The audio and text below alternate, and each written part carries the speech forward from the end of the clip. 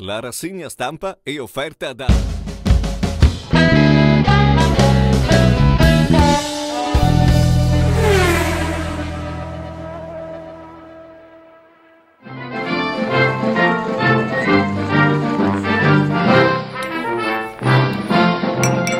Venerdì 6 settembre, buongiorno a tutti e ben ritrovati all'interno della nostra rassegna stampa. In apertura una notizia che riguarda la politica, alto là del colle sulla crisi di governo. Il presidente napolitano avverte in questo periodo sarebbe rischiosa. Il PDL però accelera meglio le elezioni che stare con chi vota contro. Tutte le altre notizie le leggiamo all'interno della nostra rassegna stampa.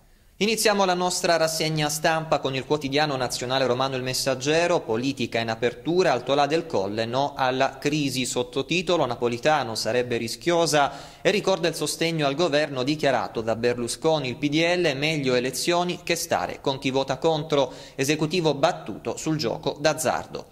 Taglio centrale, internazionale, politica, Siria, lettera del Papa, no al massacro, Obama-Putin, alta tensione, l'ONU ostaggio di Mosca. Torniamo in Italia, sempre taglio centrale a destra, più investimenti esteri in Italia, il piano punta su fisco e giustizia. Sottotitolo il rapporto sul tavolo di Letta, certezza per le multinazionali.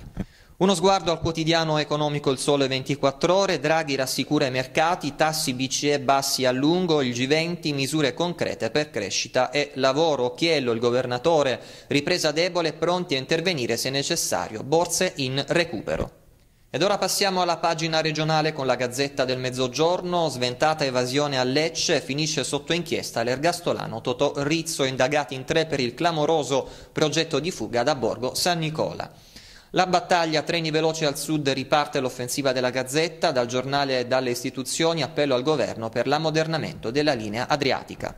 La Gazzetta di Lecce si libera gli usurai, arrivano le condanne ma lo Stato si defila, abbandonato al mio destino. Chielo la vicenda esemplare di un imprenditore che ha trovato il coraggio di reagire.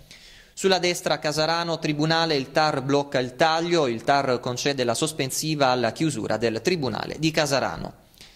Taglio centrale, evasione sventata, indagato Totorrizzo, Lecce ad una svolta l'inchiesta sul clamoroso progetto di fuga da Borgo San Nicola.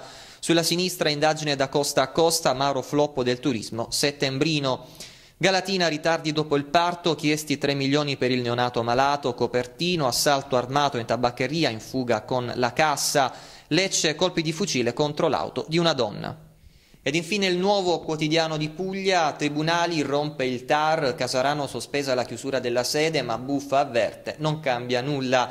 Accolto dai giudici amministrativi il primo dei ricorsi in attesa Tricase e Galatina. La storia, Papa Francesco telefona a una ragazza salentina, battezzerò tuo figlio.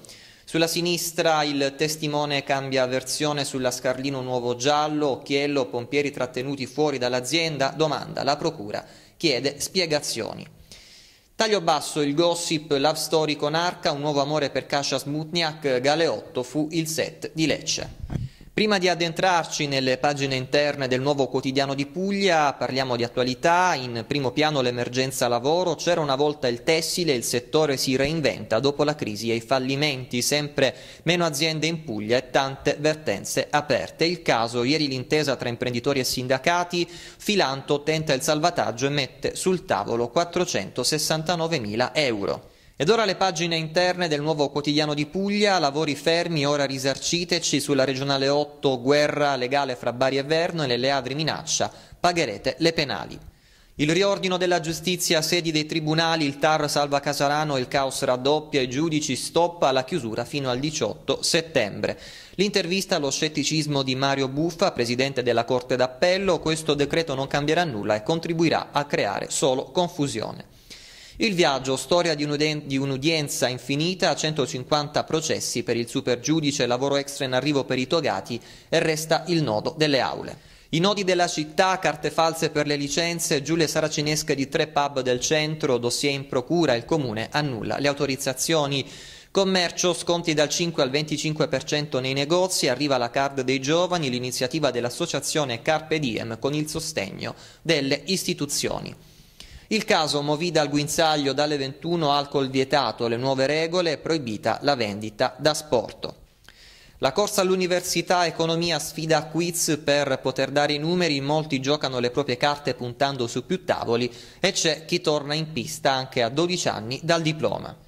Appalti e salute, un buon pasto, almeno 4,61 euro. L'Asir diffonde i dati sul rapporto qualità-prezzo per i cibi serviti nelle mense. Ancora cronaca, la Croce Rossa denuncia i vigili, discussione per un parcheggio la Presidente va in questura.